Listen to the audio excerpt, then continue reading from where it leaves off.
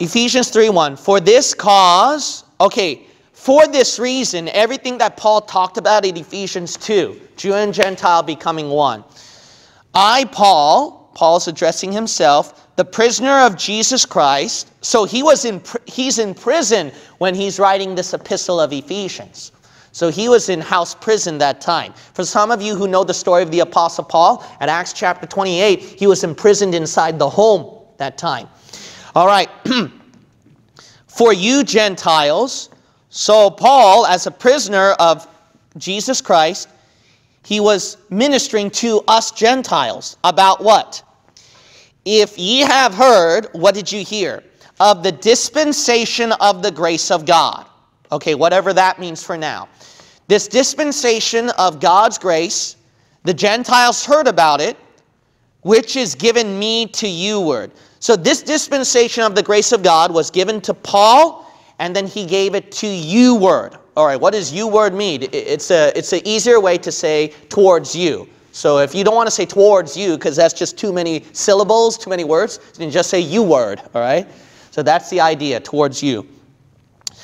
Now, Paul, he received this uh, dispensation of the grace of God, and then he gave it to us Gentiles. Now we come across another problem. Guess what? We go back to the hyper dispensationalists again. For some weird reason, these verses are very rich against mid-acts doctrine, even though this epistle is one of their favorite epistles. You'll notice over here, let's cover the first. so the hyper dispensationalists, they claim this. When you look at verse 1, 2, 3, 4, 5, 6, they claim that the apostle Paul was he received the dispensation of the grace of God dispensation of grace. Hence, since Paul received this, that's why we were able to hear about salvation by grace, not by works. So that's what hyper dispensationalists will argue. So it began with Paul, it can only begin with Paul, it never was before Paul. That's what they keep that's what they keep insisting.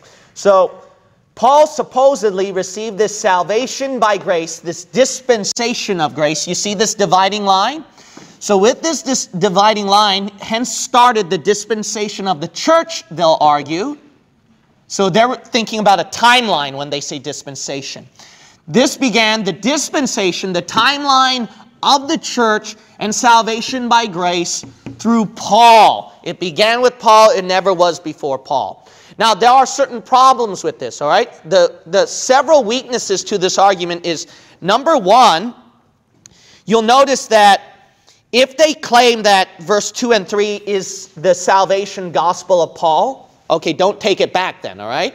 If you mid-acts believe in that, don't take it back. If you strongly believe in that, verse 2 and 3, look at verse 1. For this cause. Wait a minute. So in verse 1, Paul says, For this cause, okay, this reason that I'm preaching this salvation by grace, that's only to the Christian church. It has nothing to do with Jew, all right? He says that, but he starts out, so that's the context of verse 1 here, right? What's he referring to for this cause? That means for this very reason, right? For this very reason, what? Verse 22 and more behind. Isn't that how you start off in a, a English, uh, uh, grammatically speaking, in a correct way? Paul says, let's look at this example. Verse 22 of Ephesians 2. In whom ye also are builded together for an habitation of God through the Spirit. For this cause. See, based on that reason on verse 22 and the others behind, I, Paul, yada, yada, yada. Wow, then verse 22, 21, 20, 19, 18, 17, all the way to verse 13, where Paul says that Jews and Gentiles became one in the body of Christ. For that very reason, Paul preached about the dispensation of the grace of God. Wow. Mid-Acts won't like that. So this becomes a powerful argument against mid-Acts. Because if they insist 2, 3 is talking about Paul's gospel and it has nothing to do with the Jews, none whatsoever, then tell them to not take it back and then tell them to look at the context of verse 1. For this cause. For the very reason of what? Verse 22, 21, 20, 19, 18, 17, 16 at chapter 2. Which is talking about what we talked about earlier Jews and Gentiles. Jews. It had to do with Jews. It had to do with Jews, whether you like it or not. All right, here's the second issue with the mid Acts argument. If you keep reading at verse uh, 2 and uh, let's look at verse 3 now. So, this dispensation of grace, whatever that is that Paul received, it's by revelation. How that by revelation? So God revealed it to him. It's through that revelation. He made known unto me the mystery. God made known to Paul that mystery, as I wrote afore in a few words. So Paul received this mystery, which was not, which means that it was not known before. So it was not revealed before. Okay, that's important to understand not revealed before. It had to start out with Paul, see? It wasn't revealed before Paul. This is crux to the mid-acts argument. So because it was a mystery, Paul's the one who revealed the mystery, and everyone else before Paul didn't know about it. So you can't argue body of Christ started before Paul. You can't argue that there were elements of the gospel of salvation by grace, not by works, was before Paul. That's how mid-acts claim and teach. Now there are several, uh, there's more weaknesses to this argument. This is very rich. This is a, one of the favorite mid-acts texts, yet it becomes the biggest thorn on their side. One of the powerful texts against mid-acts. Because, first of all, Let's define dispensation of the grace of God. If you look up in a dictionary, dispensation, it does not mean a time period. That's important to understand. Dispensation, it's like a dispenser that dispenses things. So it's administering things uh, to, uh, differently. That's where we get dispensationalism from. We can include people and time period here. If you look at Webster's 1828 dictionary, it includes time period, it includes persons, but it does not solely mean time period. When you solely think time period, then you're going to come out like a mid-acts. But if you think like administering differently, giving out, then that makes sense. Because if you think that way, dispensation, if God administers, it's a giving of what? God's grace to Paul. Why? Because, keep reading verse 2, is given me. There's your answer. It's given to Paul. Let's keep reading the context here. Look at verse 7. Wherefore I was made a minister according to the gift of the grace of God given unto me. Look at that. It was gifted to him. It was given to him. Why? Because God dispensed it to Paul. It's not God time perioded to Paul, all right? Uh, this is even more powerful. Look at verse 8. Unto me, who am less than the least of all saints, is this grace given. All right?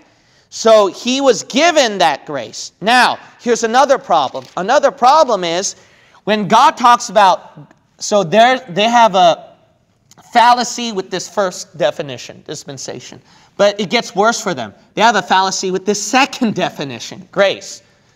Simply, what does grace mean? Jesus died, buried, resurrected. No, that's not what grace means. Jesus Christ, when he died, buried, and resurrected, it was an act of grace, but that's not what grace means. Grace simply means that something we don't deserve, yet we get it.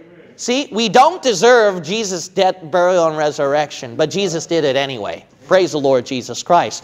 So see, uh, you notice the mid-acts problem? They're not as deep or intelligent as you think. They're very amateurish.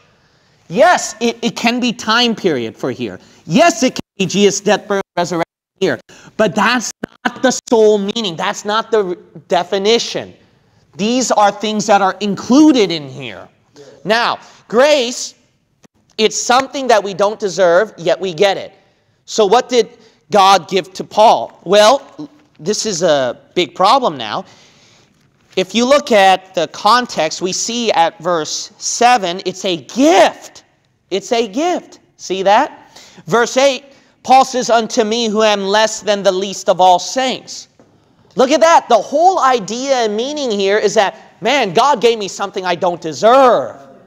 Has nothing to do with the death, burial, and resurrection. But look at further, uh, further context from Scripture with Scripture. 2 Corinthians 12. 2 Corinthians chapter 12.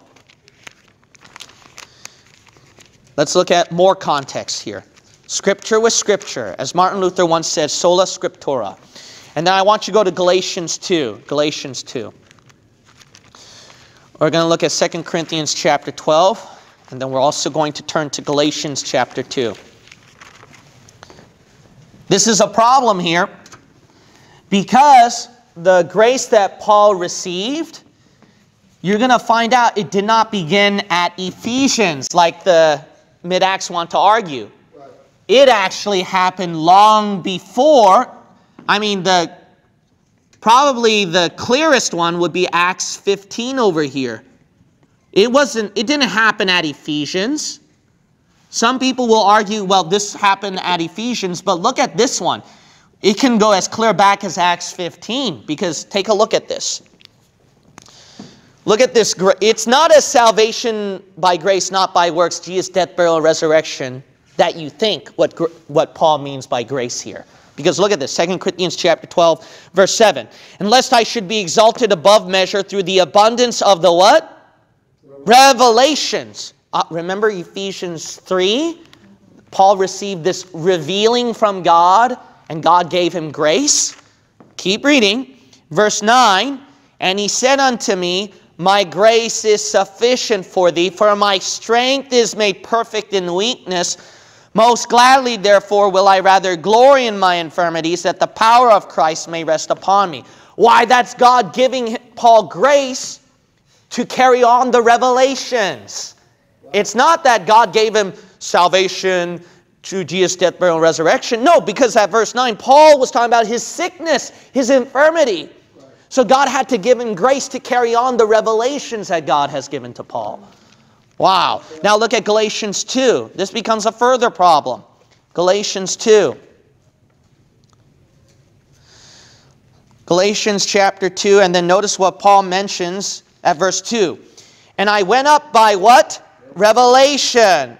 And communicated unto them that gospel which I preach among the Gentiles, but privately to them which were of reputation, lest by any means I should run or had run in vain.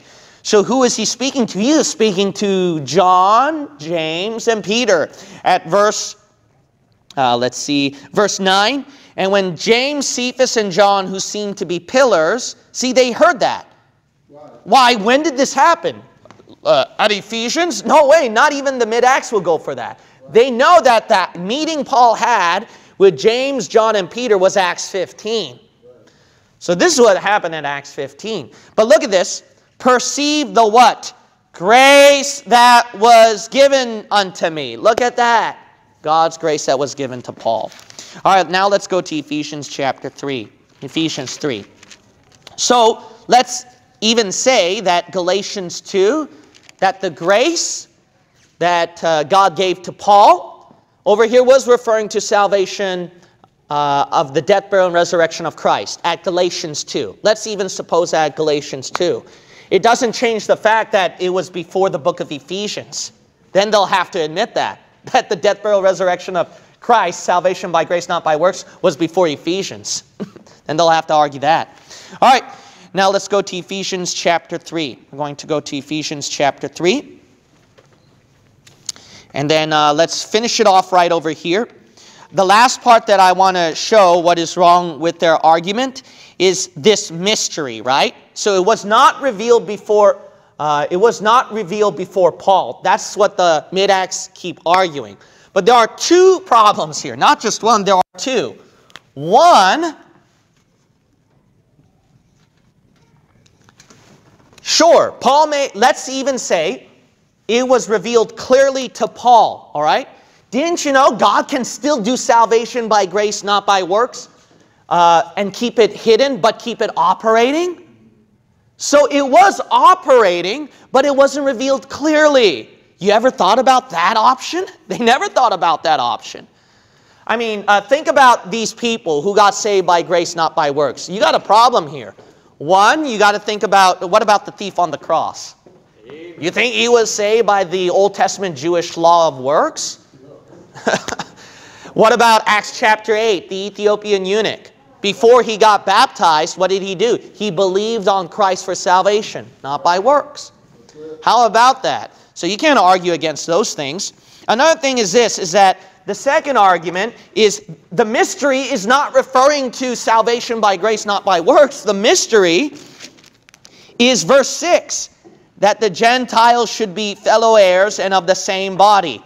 Basic, the mystery was Gentiles get to join the Jews over here. That's the mystery. Not the death, burial, resurrection of Christ, salvation by grace, not by works. That was not the case over here. It was that the Gentiles can join the Jews. Yes. All right, so Amen. we will continue to uh, show the errors of the Mid-Acts group and some of those uh, Mid-Acts trolls who are watching me online. I hope, uh, get ready for more. And I hope that the Lord can change your hearts.